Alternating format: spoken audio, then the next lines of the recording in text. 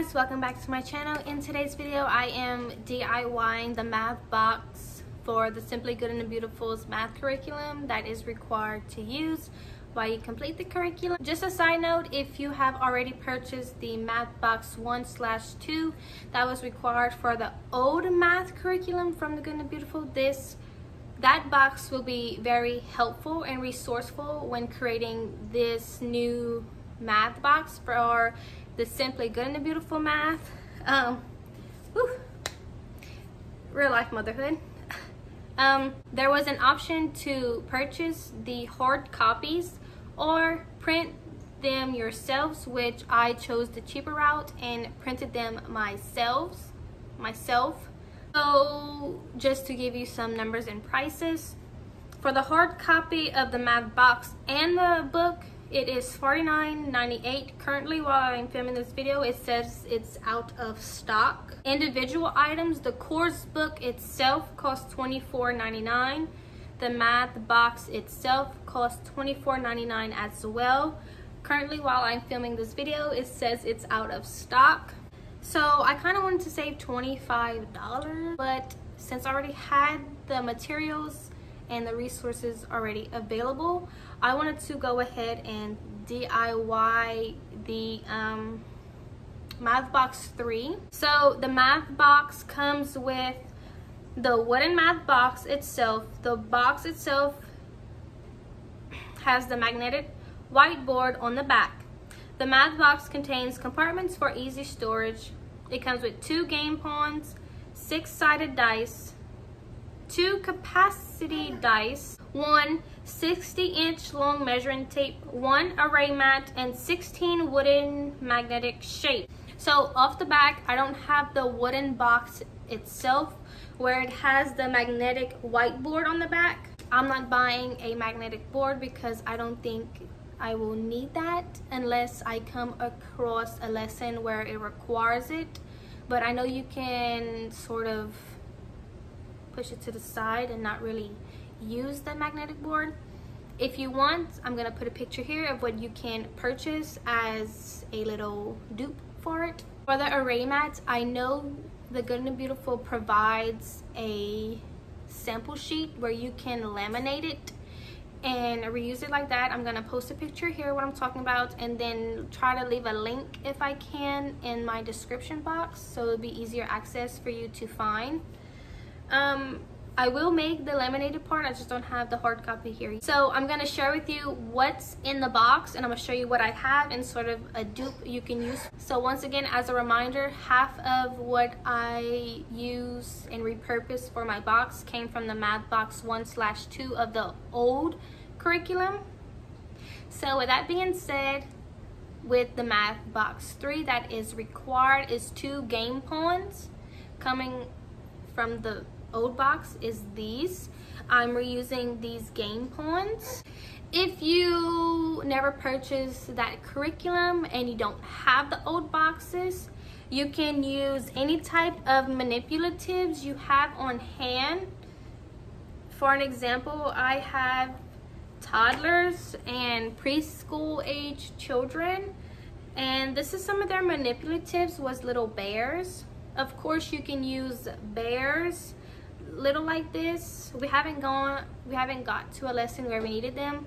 So i'm not sure if size matters. Or you can go to like your local hobby lobby or michael's or craft store and get little um, wooden pegs. Sorry our pegs already drew on. I'm just showing you example of what you can use. Um, but this is what you can use just little pegs as your game two game pawns. In the box, it calls for one six-sided dice. Here we have just one six-sided dice. I'm not sure if this dice came in the math one two box. Uh, that I'm not sure of. But if you have like Monopoly or any kind of game like that and it had a dice, you can always use that dice. Next is a 10-sided dice this is what it looks like if you had the old box this one did come in there I'm sure you can find something on Amazon of a 10-sided dice I'm not sure um, but this one was already in the old box, so I'm just reusing it. The next one was two capacity dice, one inch cubes. I didn't measure, my blocks already had, so I have babies and sometimes you buy blocks for babies. So this is where I got my blocks from. You can see they're kind of old and used. So I wrote on them myself. Um, they're about an inch. So this is a DIY little how you can use what you have at home. So I wasn't sure what you were supposed to write on them, but I'm gonna link the link below that I found and what you're supposed to use on them. Um, I went ahead and wrote on them, but you can probably cut out those little squares. If you click the link below, you can see what I'm talking about. You can probably cut out the little squares and maybe glue it or Mod Podge it onto the block and it can be um, sort of used like that but I already went ahead and wrote on them so this like a gallon a one pint um, one quart this one has like two pints four quarts eight pints four cups 16 cups so we haven't got to a lesson where we needed to use these so I'm not sure how we have to use these next required in the box is the 160 inch long measuring tape this one was in the math box 1 and 2 of the old math. I'm just reusing it again. Of course, if you don't have this one, you can go to your local um, hardware store and get like a little measuring tape. I know they have kid size measuring tapes you can use, um, but this one I already had, so this is our measuring tape. This one has centimeters and inches on each side. Then it has one array mat. Um, I'm gonna post a picture here of what it's talking about. I don't have that one yet and hasn't and I haven't printed it to laminate it, but that's how I plan on using our array mat that is required. Um, it's from the Good and Beautiful website. If I can, I'm gonna link it down below so it'll be easier for you to find and print because it took me forever to find it. You need 16 wooden magnetic shapes. I don't have wooden shapes uh, that would be a nice investment for me of course you can go to amazon and get like the wooden shapes and purchase them there. But the good and the beautiful from the math one and two box they had these cardboard looking shapes.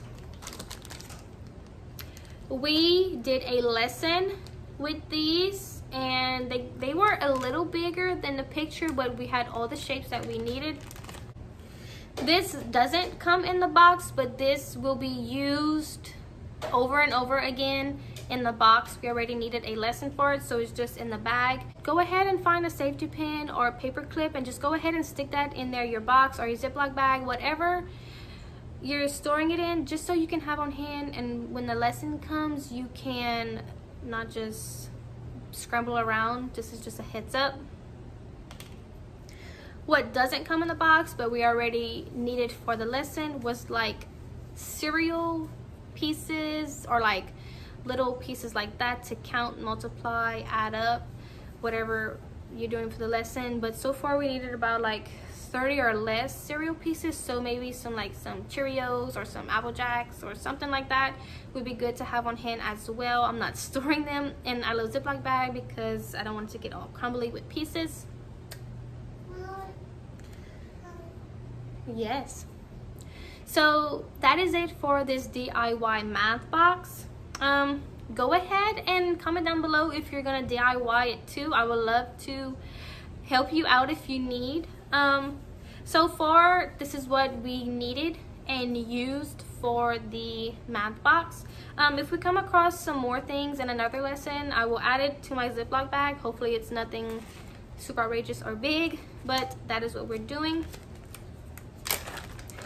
So instead of a box, I will use this little Ziploc bag. It all fits in nice and neat, just to store.